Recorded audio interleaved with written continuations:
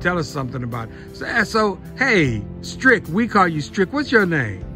Well, my, my mom, my mom, God rest her, uh, she calls me Thomas Strickland, but uh, in disc golf and uh, in the Marine Corps, eh, all my friends and family, they all call me Strick now. So that was, uh, my grandfather was Strick, my dad was Strick, and uh, going through, uh, uh, you know, the grades, I was like, man, how am I ever gonna, I wanna be Strick. And, you know, it just isn't something that's like one of those nicknames someone has to give you. And, and this, of course, going through the Marine Corps was a good fit because everyone calls you by your last name. So eventually I, I became Strick. But uh, we're out here at, at, Williamson County Regional Park and we're gonna give a little introduction to disc golf.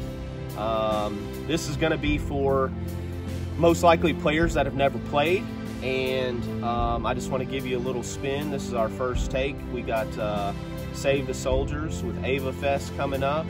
And if you have not looked into AVAFest, woo, don't make the mistake I made because I missed out for quite a few years and they got some something really special for uh, all of us vets. Um, disc golf, please don't hesitate. I, I also did made that mistake for over a decade of not playing because of the stigmatism and the stereotypes that uh, the sport.